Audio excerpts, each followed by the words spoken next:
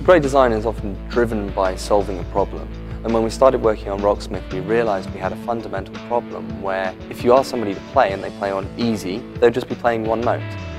And that's fine at first. Then after two minutes into the song, they've been getting it right for two minutes and they get very bored. They want more of a challenge. Conversely, if they start playing on hard because they think they're good and then it's too difficult, then it's frustrating. Those experiences didn't seem to fit with what we're trying to achieve. So you start off and the game will be set at its lowest difficulty level. But then the moment that it sees that you're doing well, it will start to level up. And the higher the level you're playing at, the more points you're going to score. And that's really what we refer to as the Rocksmith method.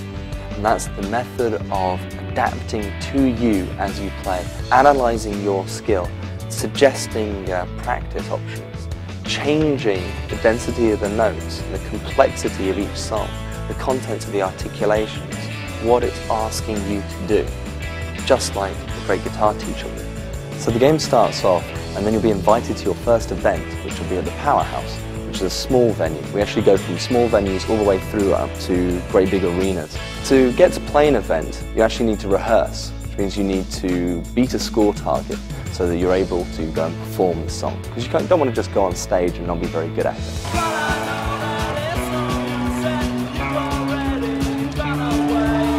So as you rehearse, Rocksmith is actually tracking everything you're doing.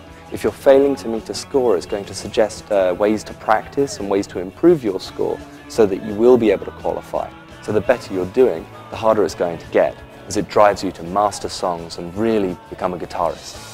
Then, once you've mastered every section, so you've maxed it out, you become eligible for Master Mode, which removes the interface entirely, which means it's just you, your guitar, the music, and the crowd in front of you.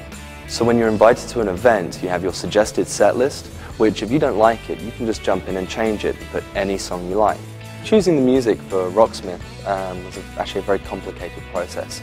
Each song was chosen not just because it was a big hit, it was really thinking about how does a player actually play the guitar? What's going to be a good progression? How can we put these songs together and see them going from just playing single notes and still having a satisfying uh, experience and from Rolling Stones right the way through to Best Coast and Titus Andronicus. We really concentrated on alternative rock because they had the strongest density of E standard and drop D tuning songs. That being our core, through downloadable content, we're going to expand and cover other tunings and other genres as we move forward.